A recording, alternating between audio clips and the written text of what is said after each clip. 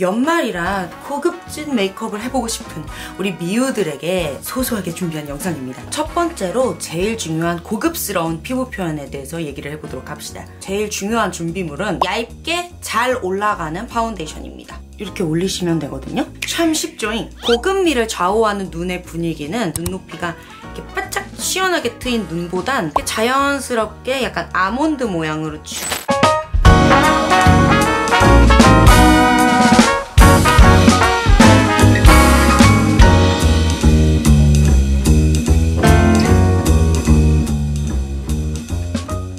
안녕하세요 미우들. 제이미 보입니다.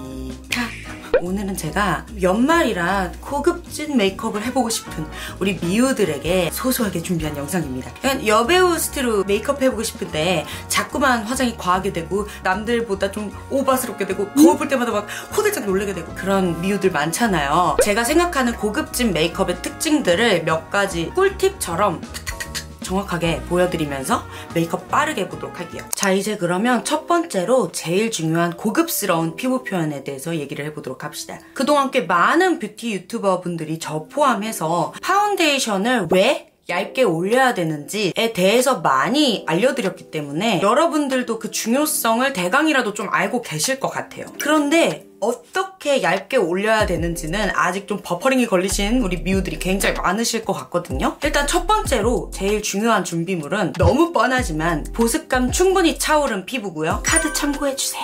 그 다음으로는 당연히 얇게 잘 올라가는 파운데이션입니다. 제가 정말 베이스 처돌이로서 그동안 사용해왔던 파운데이션이 꽤 많은데 오늘 여기서는 정말 얇게 올라가서 그 마치 샵에서 공들여서 받은 그런 피부 표현이 가능한 파운데이션으로 오늘 베이스 깔아볼게요. 이건 웨이크메이크의 워터벨벳 파운데이션이고요. 엄청 가벼운 워터벨벳 formula라서 피부에 올라갈 때 정말 촉촉하고 얇게 올라가는데 마무리감은 착 달라붙어 막 결 사이사이를 blur 처리 보정해주는 파운데이션이에요. 이렇게 얇게 올라가는 파운데이션일수록 여러분 도구가 필요합니다. 먼저 spatula 사용해서 바르는 건 워낙 유명하죠? 요즘 이게 되게 핫했잖아요. 이런 파운데이션은 정말 두껍게 올릴수록 금방 무너지고 피부 표현은 더 안 예쁘게 나올 수 있기 때문에 정말 얇은 텍스처인 만큼 정말 얇게 올리셔야지 되게 예쁘게 표현되거든요. 그렇기 때문에 이 spatula랑 그냥 궁합이 찰떡궁합입니다. 마치 음? 여러분과 나처럼? 자 여러분 여기서 좋은 소식 하나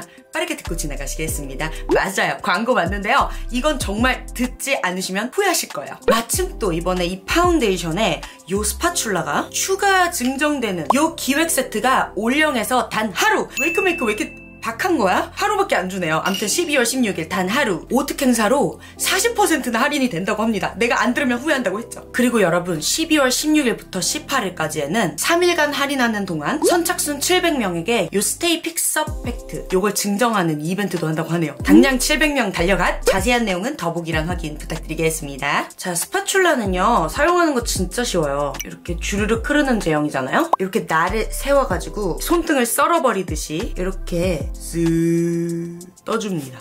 그러면 이렇게 묻혀지겠죠? 한 70, 80도 각도 유지한 상태에서 안에서 바깥쪽으로 이렇게 이렇게 올리시면 되거든요? 참 쉽죠잉? 그리고 물 먹은 스펀지로 팡팡팡팡 두들겨주세요. 파운데이션이 지나가는 길은 안쪽에서부터 바깥쪽, 얼굴 중앙 볼 쪽에서 아래로 살짝 내려갔다가 위로 올라갔다가 둥글게 둥글게 둥글게 둥글게 둥글게 자 팔자 주름 인중 쪽, 턱 안쪽 들어왔다가 마지막에 남은 양으로 얼굴 외곽 터치해주세요. 근데 커버력이 약해서 좀 걱정되시는 분들은 걱정하지 마세요. 제가 후에 또 다 알려드릴게요. 코 쪽 모공도요. spatula로 기가 막히게 또 커버를 해줄 수 있어요. 코는 바깥쪽에서 안쪽으로 모공을 채워주면서 들어오는 거예요. 이렇게 바깥쪽에서 안쪽으로 들어와서 모공을 채워가며 스펀지로 두들겨주세요.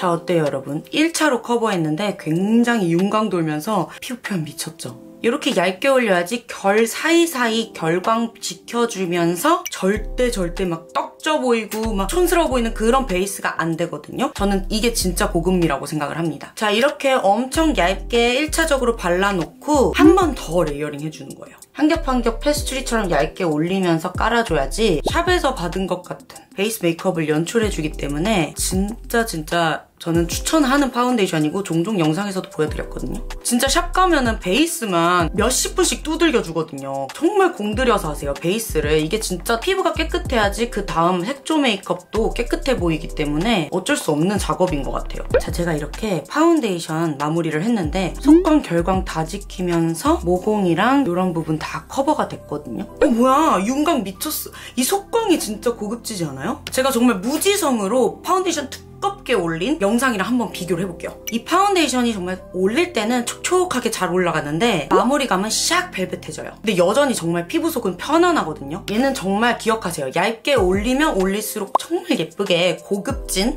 표현이 가능한 파운데이션입니다. 자 이제 두 번째 컨실러 사용에 대해서 말씀을 해드릴게요. 간단하게 짚고 넘어갈 거예요. 지금 이런 왕여드름 있잖아요. 이런 부분에 좀 더 커버력이 필요할 수밖에 없거든요. 그리고 여러분 컨실러도 사실 그냥 막 바르면 안 돼요. 제가 사용할 거는 제 찐템, 꿀템 정말 이건 제 2년 찐템입니다. 영상에서 이것만 쓰는 거 아시죠?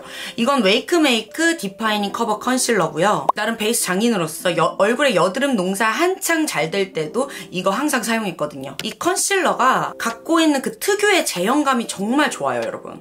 쫀쫀하면서 매끄럽게 발리고 막 마지막에 그냥 촥 달라붙는 그런 제형 때문에 정말 빈틈없이 트러블이랑 모공이 가려지는 느낌이 있거든요. 사실 제가 이 제형 때문에 엄청 써왔던 거예요. 컨실러는 여러분 사실 컬러도 되게 중요하거든요. 피부에 올렸을 때 딱 제 피부톤과 맞는 많이 밝지 않는 옐로우 베이스 톤의 컨실러가 모공이나 붉은 여드름 그리고 흉터 같은 걸 잘 가려줄 수 있고요. 좀 더 밝은 컬러들은 피부톤에 맞게 선택하셔서 얼굴 안쪽 부분 위주로 모공 커버나 결 커버 해줄 때 사용하시면 좋아요. 고급진 메이크업 해줄 때 모공도 사실 가려주는 게 되게 중요하거든요. 모공이 막 벌려져 있으면 벌려져 있다? 약간 어감이 좀 그렇네요. 활발하게 자리 잡고 있으면 고급미와 상반될 수밖에 없거든요. 파데 바르기 전에 특히나 심한 요 얼굴 안쪽 나비존 부분 모공 채워주는 용도로 뭉툭한 브러쉬에 요 컨실러를 묻혀서 얇게 올려 커버를 툭툭툭 둥글게 둥글게 굴리면서 커버를 해주시면 파운데이션을 막 두껍게 한두 겹, 두세 겹 더 올릴 필요가 없기 때문에 더 고급진 베이스를 연출하는 데 도움이 되거든요. 두 번째로는 잡티 커버 해줄 때 이건 진짜 제 꿀팁인데요. 여기 더러운 부분 있죠? 어느 순간 굳어있는 애들. 이 애들을 사용해서 가려주면 한 방에 가려져요. 보이시죠? pot 컨실러만큼이나 높은 커버력 그리고 더 매끄럽게 커버를 해주실 수 있어요. 이거 봐. 한 방에 가려지죠? 무조건 브러쉬 사용해서 국소 부위에만 이렇게 얇게 올려서 커버를 해주셔야지 이 얇은 피부 표현을 절대 망치지 않는다는 그런 말, 말씀을 드리고 싶었습니다. 자 이제 마지막으로 정말 또 중요한 파우더 세팅 단계가 남아있는데요. 아까 우리 공들여서 얇게 올린 이 파운데이션 이 피부 표현 있죠? 이 피부 표현의 결광이나 이 속광들을 절대 망치면 안 돼요. 그래서 입자가 굉장히 고운 놈들로 사용을 하셔야 되는데 저는 컬러감이 있는 파우더보다는 투명한 컬러의 파우더, 파우더를 추천해요.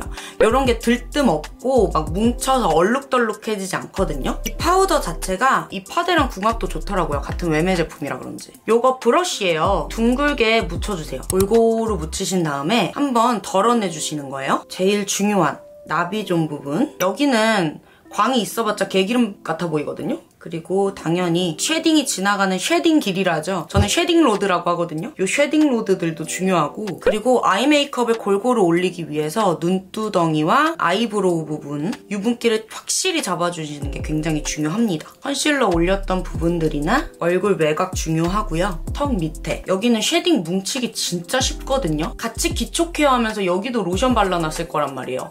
근데 여기 지금 유분기 그대로 냅두고 바로 shading 파우더 올려주면 100% 뭉치 뭉칩니다, 여러분.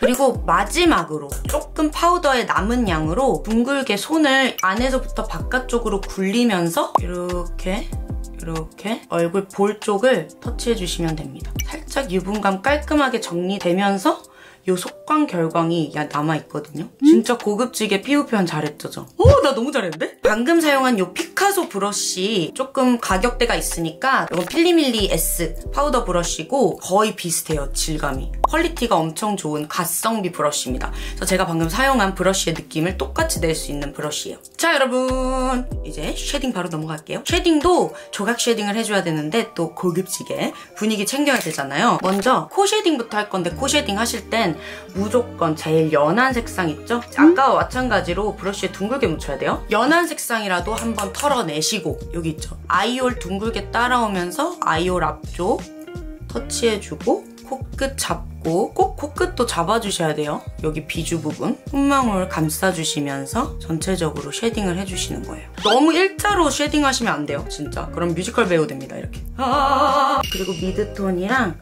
deep tone 섞어서 조금 더 디테일을 잡는데 눈두덩이 한번 같이 쓸게요. 코벽 꼭 이렇게 같이 쓸어주면서 내려주셔야 돼요. 그래야지 진짜 내 그림자 같아지거든요. 그다음에 soft warm 컬러로 턱 shading을 해주셔야 되는데 여러분 턱 shading을 약간 귀티나 보이게 칠려면 귀 밑 살짝 각을 주세요. 여기 너무 칠해버리면 약간 턱수염 같을 수 있으니까 여기를 각을 좀 주시고 턱이 조금 U라인이 고급스럽거든요. 저는 턱 끝이 뾰족한 편이라 약간 쳐야 돼요.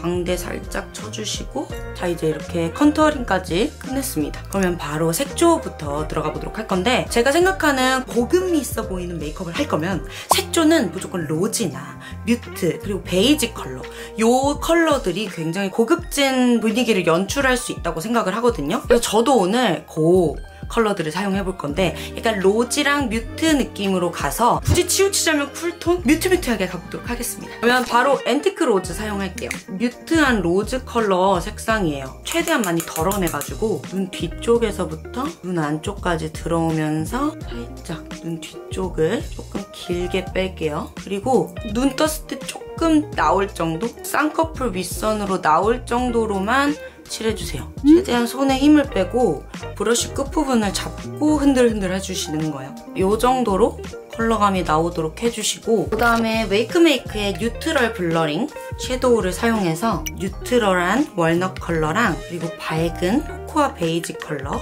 두 가지 섞어서 최대한 최대한 브러쉬에 많이 털어내세요. 아까 쌍꺼풀 라인 위주로 antique rose 발라줬으니까 이 위쪽으로 살짝 blending하면서 눈을 길게 한 번 더 빼주세요. 그리고 나서 아까 사용한 antique rose를 사용해야 되는데요. 조그만 브러쉬를 준비하세요. 눈 삼각존 부분에서 연장해주면서 눈 뒤쪽을 살짝 넓히면서 안으로 들어오면 되시고 반대쪽도 마찬가지입니다.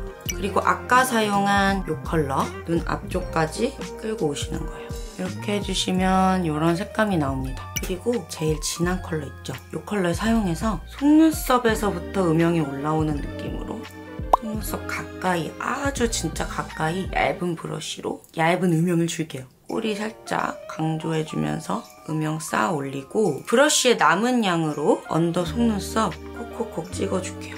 그래서 점점 꼬리랑 살짝 이어지기. under 찍은 거랑 안 찍은 거랑 굉장히 차이 많이 나죠?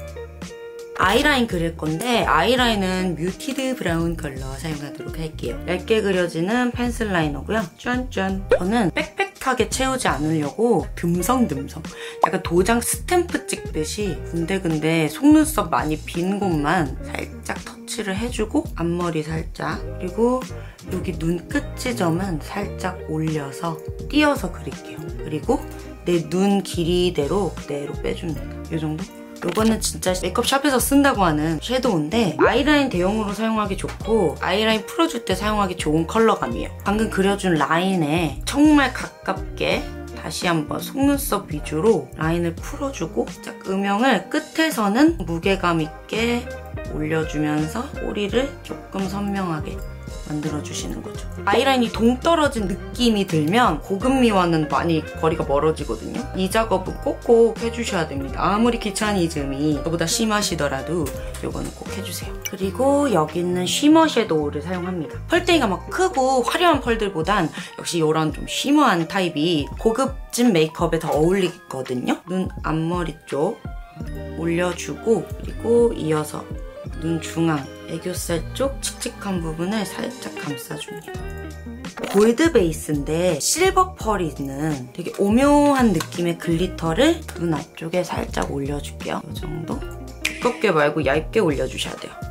자 이제 속눈썹을 붙일 건데요. 속눈썹을 붙일 때 너무 바짝바짝 인형처럼 붙여버리면 고급미와 전혀 거리가 멀어집니다. 여기서 꿀팁인데 고급미를 좌우하는 눈의 분위기는 상안검이 동그란 눈높이가 이렇게 바짝 시원하게 트인 눈보단 자연스럽게 약간 아몬드 모양으로 쭉 흘러가는 친구가 마음에 안 드는 짓 하면 우리 약간 눈빛 주잖아요. 이런 식으로 너 뭐해? 약간 그런 개슴츠레한 눈매가 조금 더 분위기 있어 보이거든요. 속눈썹 사이사이에 듬성듬성 없는 부분에만 좀 붙여주도록 할게요. 눈 앞쪽에는 9mm 붙이고 뒤쪽에는 10mm를 좀 듬성듬성 붙여서 눈이 길어 보이게 만들어줄게요. 뒤쪽으로. 자 이제 마스카라를 해줄 건데 마스카라는 ash brown 컬러 가져갔거든요. 고급미 메이크업에서는 블랙처럼 확 티나는 그런 선명한 마스카라도 좋지만 좀 이렇게 그윽하게 연출할 수 있는 브라운 컬러의 마스카라가 좋더라고요. 뿌리부터 촘촘하게 올려서 그윽하게 연출해볼게요. 언더도 최대한 뭉치지 않게 예쁘게 curling을 해주시면 됩니다. 자 이렇게 해주시면 아이 메이크업 끝입니다. 사실 고급진 메이크업에서는 tone on tone 맞춰주면 되게 고급져 보이거든요. 근데 우리가 아이 메이크업에서 이미 약간 로즈 계열을 썼으니까 볼에서도 좀 neutral한 색감의 로즈 컬러를 쓰고 싶은데 저는 통일감을 위해서 이 antique rose를 함께 사용할 거예요. 근데 얘만 사용하면 진짜 구운 빵처럼 아주 칙칙해 보일 수 있어요. 그래서 제가 밝은 핑크 neutral blusher를 섞어줄 거거든요. 여기 광대 살짝 아래에서 들어오면서 되게 고급미 있어 보이죠? 어? 너무 이쁘다. 립은 overlip 먼저 해줄게요. 이 overlip은 하트 퍼센트 rose beige 컬러고요. 너무 입술 두꺼워져도 고급미랑은 살짝 멀어지니까 최대한 입술 안쪽에 포인트 컬러랑 이어주겠다라고 생각을 하고 라인만 좀 이렇게 넣어주시면 됩니다. 그리고 아까 사용한 블러셔 있죠? 입술 라인 쪽에 묻혀주세요. 블렌딩 해주시는 거예요. 무지개 맨션의 포이즈라는 핑크 베이지 컬러 발라줄게요. 이거 진짜 좀 nudy예요.